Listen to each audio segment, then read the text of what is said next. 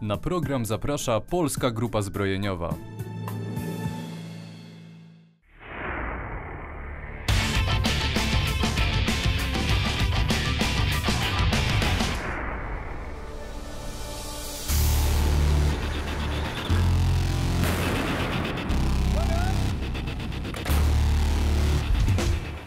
Langusta, krab, rak. Te nazwy kojarzą nam się oczywiście z przemysłem obronnym i hutą Stalowa Wola.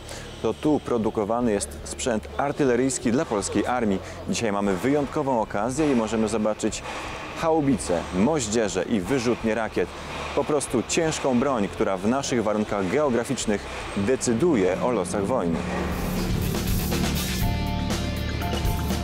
Huta Stalowa Wola zajmuje się przede wszystkim produkcją sprzętu na potrzeby sił zbrojnych, a szczególnie sprzętu artyleryjskiego. To, co Państwo tutaj widzicie, samobieżne haubice 155 mm krab, jak również inne elementy kompanijnego modułu ogniowego RAK, to jest właśnie core business Huty Stalowa Wola.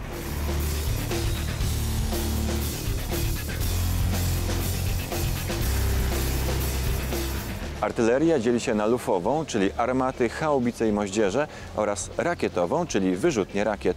Oba te rodzaje artylerii są produkowane w Hucie Stalowa Wola, którą odwiedziliśmy w tym odcinku. Ubiegłym roku Huta Stalowa Wola podpisała dwie niezwykle ważne umowy z Ministerstwem Obrony Narodowej.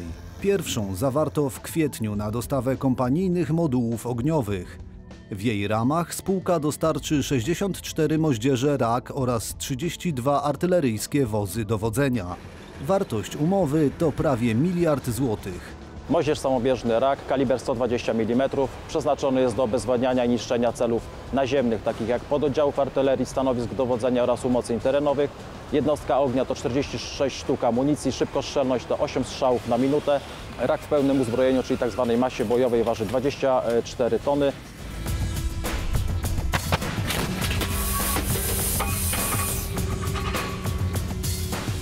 Na dzisiaj realizujemy największe kontrakty, jakie kiedykolwiek zostały ulokowane przez e, Polskie Ministerstwo Obrony Narodowej w polskim przemyśle.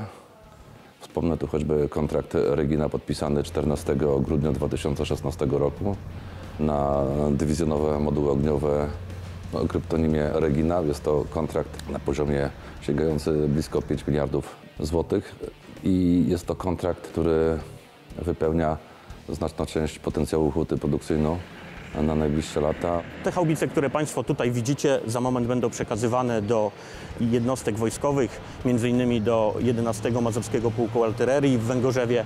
Także ten kontrakt my w tej chwili realizujemy, staramy się i robimy to w terminie, jak również jakościowo, bo to jest najważniejsze w dzisiejszej produkcji. Armata haubica KRAB przeznaczona jest do obezwładniania i niszczenia celów naziemnych, takich jak pododdziały artylerii oraz do niszczenia umocnień terenowych.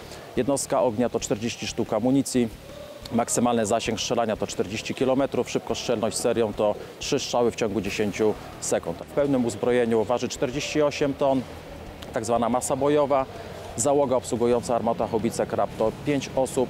Maksymalna prędkość poruszania się armatą Hobicą Krab to jest 65 km na godzinę. dzisiaj realizowane kontrakty, kontrakt Reginy, kontrakt Raka, które zostały w ostatnich e, dwóch latach podpisane, to są tak naprawdę koła zamachowe i tego zakładu, i przemysłu tutaj zlokalizowanego w Stalowej Woli, i Polskiej Grupy Zbrojeniowej. To są te kontrakty, które pozwolą nam się rozwinąć, pozwolą nam zbudować nowe kompetencje, tak żebyśmy byli w stanie sprostać tym najtrudniejszym oczekiwaniom użytkownika i żebyśmy w stanie byli zapewnić bezpieczeństwo e, kraju, pośrednio oczywiście dostarczając dobry sprzęt do wojska.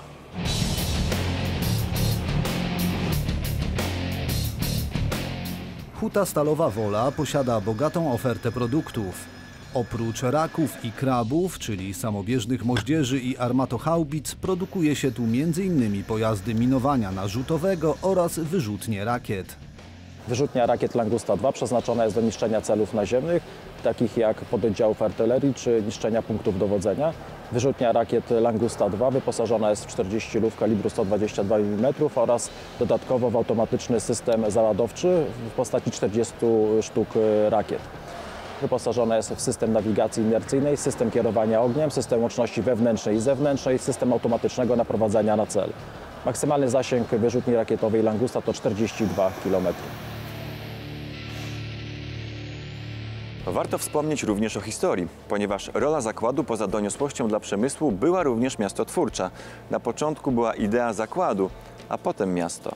Jeszcze 80 lat temu był tu piach i las. Stalowa Wola to jedno z najmłodszych miast Polski. Powstała na terenach Puszczy Sandomierskiej pod koniec lat 30. jako przyfabryczne osiedle nowo wybudowanych zakładów południowych, czyli późniejszej huty Stalowa Wola. Zakłady wybudowano w ramach Centralnego Okręgu Przemysłowego, czyli krainy fabryk, w tym również zbrojeniowych, które powstały w południowo-centralnych dzielnicach Polski. Generał Tadeusz Kasprzycki, oceniając ideę budowy Centralnego Okręgu Przemysłowego, powiedział, że to stalowa wola narodu, wybicie się na nowoczesność. Stąd nazwa. Zakład produkował stal szlachetną, sprzęt zbrojeniowy i rolniczy.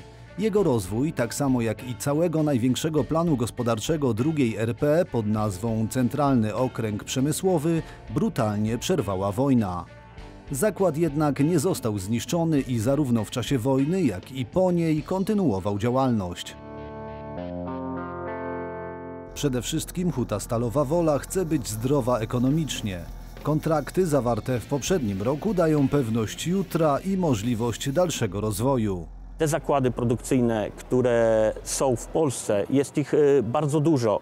Oczywiście one e, bardzo boleśnie przeszły okres transformacji, natomiast powinny być wspierane zarówno przez rząd, tak jak się to dzieje w tej chwili, jak również rozwijane, tak żeby uniezależnić się od obcych dostaw na wypadek potencjalnego konfliktu zbrojnego. Nie wyobrażam sobie sytuacji takiej, w której w przypadku globalnego konfliktu jakieś elementy będą bądź są pozyskiwane e, w czasie W z zagranicy. Jest to bardzo, bardzo trudne, więc w interesie zarówno obywateli, jak i sił zbrojnych jest to, żeby ten przemysł był silny i samowystarczalny.